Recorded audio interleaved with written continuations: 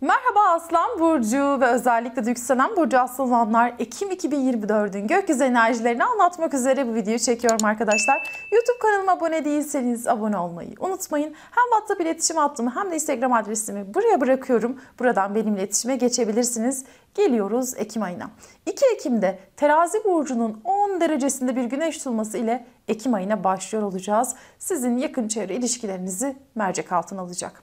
Kardeşleriniz, kardeşlerle olan ilişkileriniz ya da onların hayatındaki mevcut süreçlerde yeni gelişmeler olabilir komşular, yakın akrabalar, birinci derece böyle kan bağınız olan akrabalarla ilgili olarak yoğun bir tetiklenme verecektir. Burada ilişkilerde bir hareketlenme olabilir.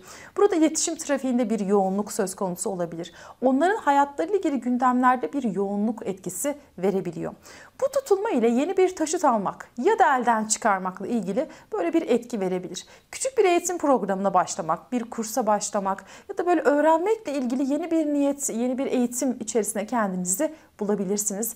Bu dönem böyle yazılı sözlü evraklar, belgeler, beyanlar, raporlar ve bu konularla ilgili böyle bir etkileşim de verecektir aynı zamanda. Ve bu süreçte bir mülakat hazırlanmak, bir sınavı e, başarısı yakalamak ya da böyle hazır e, öğrenmekle ilgili süreçlerde hani artık bunu beyan etmek, bunu böyle bir tasdik etmek adına da bir etki e, verecek bir noktada gerçekleşiyor. Burası en nihayetinde düşüncelerimizdir. Yani fikirleriniz, düşünceleriniz, öğrenmekle ilgili niyetlerinizde yeni gelişmeler yaşanabilir. 10 derece yakın bir gezegeniniz var ise daha yoğun etkilenirsiniz. 10 derece Vedik sistemde baktığımızda hasta nakşatrasına batı sistemin ise Porima sabit yıldızına denk gelen bir derecede gerçekleşiyor. Bu yeni ay, e, bu yenilik içerisinde biraz şifa enerjileri barındırıyor. Biraz yaratıcılığınızı ifade edeceğiniz böyle bir e, düşünce etkisi veriyor. Bununla birlikte e, çok hızlı olaylar gelişiyor olabilir. Bir hukuki sorun verebiliyor. Örneğin kardeş ya da birinci derece akrabalarınızın hayatlarıyla ilgili olarak. Ya da komşularınız da olabilir burası. Bunlarla ilgili bir hukuki sorun olabilir. Hayatlarındaki bir sorun hani vakıf olma, duyma, tanık, beyan tarzı durumlar içerisinde kendinizi bulabilirsiniz. Ve bu dönem e, devlete dair işlerde böyle geleceğe dair bir haber etkisi de verebiliyor. Örneğin bir mahkeme hani dava süreci var, olayın seyriyle ilgili bir bilgi elde ediyor olabilirsiniz. Ya da tanıklar, beyanlar hani olayın gidişatını değiştiriyor olabilir ve geleceğe dair bir bilgi elde etmek adına bir tetiklenme e, verebiliyor. Geçmişte bir baktığımızda ise 6 Ekim 2021 tarihinde bu derece tekrardan bir tetiklenmiş. O dönem yaşanan olayların bir benzeri bu dönem yaşanıyor olabilir. Hani en e, genel hatlarıyla baktığımızda burası düşünceler, yakın çevre ilişkiler ve e, akrabalarla bağlantılı gelişmeleri aktive edecek bir tutulma gerçekleşiyor olacak. Bu tutulma Ketu ayında gerçekleştiği için ve e, bu dönem hani yöneticisi de e, Venüs Akrep'te de zararda da olduğu için biraz böyle işin içerisinde kriz, kaos olabiliyor. Biraz böyle zorlayıcı, e, biraz mecbure bırakıcı e, biraz böyle çaresizmiş hissiyatı verebilecek e, bir etkide sunuyor. Ve olaylar biraz geçmiş ayağı olan bir etkide gerçekleşiyor. Yani yepyeni durumlar değil, geçmişle bir şekilde bağlantısı olan ya da vakıf olduğunuz, hani tahmin ettiğiniz ya da öngörebildiğiniz bir durum. Ve işin içerisinde dediğim gibi biraz da zorlayıcı krizlerin olabilmesi e, muhtemel. Sonrasında 17 Ekim'de Koç burcunun 24 derecesinde bir dolunay gerçekleşecek. Bu dolunay böyle çok fazla konusu olan bir yerde gerçekleşiyor. Hayat ideal ve planlarınızda bir mahkeme dava süreci netleşiyor olabilir. Hayatınıza bir rota oluşturmayı planlıyorsunuz ve burada bir takım fazlaca seçenekler var. İşte bu seçeneklerde bir arınma durumu olabilir. Yurt dışı, uzak ülkeler, böyle dış ticaret ya da mevcut bir ticari işiniz var ise uzaklarla bağlantılı.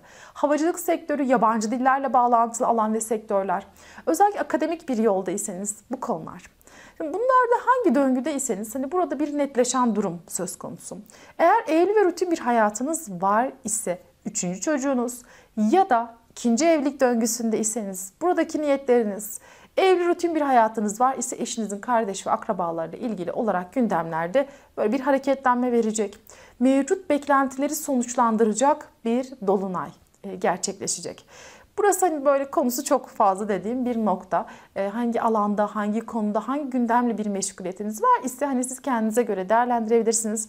Burada böyle bir netlik e, durumu verecek. Şimdi Dolunay 24 derecede gerçekleşecek. Vedik sistemde Aşvini, e, Batı sisteminde Acamar sabit yıldızına denk gelen bir derece. Burada e, biraz böyle koşarcasına ve çok fazla önünü göremeyen koşarcasına bir ilerleme ama nereye ilerlediğini bilemiyor ya da sonucun kişiye neler getireceğini tahmin edemiyor, öngöremiyor olabilirsiniz. Oradan da biraz hız ve e, aksiyon enerjisi veriyor. Rekabet çok yoğun diyebilirim. Enerjik bir etkide gerçekleşiyor bu e, dolunay. Bununla birlikte böyle bir yetkili mevki ve buradan birilerinin bir referansı, bir hani tanık beyan vesaire gibi bir durum olabilir. Yetkili mevkilerden birileriyle bir etkileşim de sunacağınızı e, söyleyen bir e, dolunay. Burada 9. E, evin şöyle de bir anlamı vardır. Babayı ifade eder Vedik sistemde. E, baba soyundan birilerini ifade eder. Ve e, hayattaki genel eksende bakıldığında planlarımızdır. Yani buradaki planlarla ilgili bir e, gözden geçirme, bir muhakeme ve burada netleşen konular e, biraz daha yoğun hissedilecek olarak gözüküyor. Geçmişte 20 Ekim 2021 tarihinde bu derece tekrardan bir tetiklenmiş. O dönem yaşanan olayların bir benzeri bu dönem yaşanıyor olabilir. Aynı konuların içeriğinin yine aktive olacağı e, bir etkide. Ayın başındaki tutulma ee, ve bu sondaki hani 17 Ekim'deki dolunay aslında size bu ay boyunca e, konularınızın böyle fikirler, düşünceler, planlar, hayata dair böyle planlarınızı yaparken böyle diğer insanlarla nasıl etkileşimler kurduğunuz ve biraz da kriz ve kaosu yönetmekle ilgili farkındalıklar kazanacağınız bir etki sunuyor.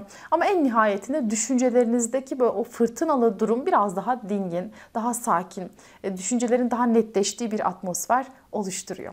Gen etkileriyle bu şekildeydi. Ebced değer hesaplamalarında ya hakim esması çıkmış. 78 defa her gün adedince söylemenizi öneririm. Kanalıma abone olur, videolarımı beğenirseniz çok mutlu olurum. Önümüzdeki ay ve diğer aylar görüşebilmek dileğiyle. Hoşçakalın.